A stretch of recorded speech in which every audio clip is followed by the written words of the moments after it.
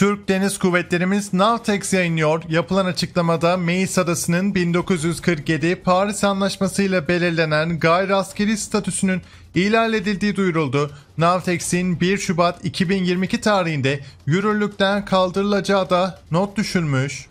Bilindiği gibi Meis Yunanistan ana karasına bağlı bir ada fakat Türk ana karasına uzaklığı 2 kilometre, Yunanistan uzaklığı ise 580 kilometre. Ortak hatta bakarak ters tarafta yer alan Meis adasının sınırlandırmada kıyı oluşturmadığını hatırlatalım. Karasuları dışında kıta sahanlığına veya münasır ekonomik bölge sahip olamaz.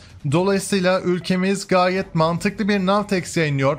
Adaların kıta sahanlığı münasır ekonomik bölgesi olabilir. Fakat bu her zaman tartışma konusu olmuştur. MEB'in doğduğu yer okyanuslardır, geniş deniz alanlarıdır. Bu nedenle kıyıdaş devletlere 200 millik uzun bir deniz sahasında egemenlik verilmiştir.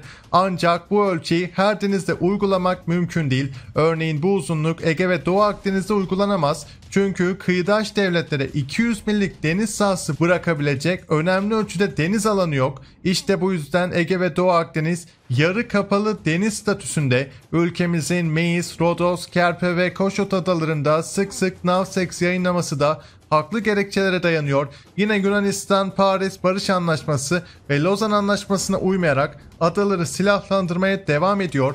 Bununla ilgili Yunan medyasında da haber görmektesiniz. Yunan medyası da bu Navtex ile ilgili haber servis etmiş. Yine onlar da bizim uyguladığımız Navtex'in sözde yasa dışı olduğunu buraya yazmışlar. Türkiye 2 Şubat'ta Meis'in diğer ismiyle Kızılhisar'ın güneyindeki bir alanı silah tatbikatıyla bloke ediyor cümlesi kullanılmış.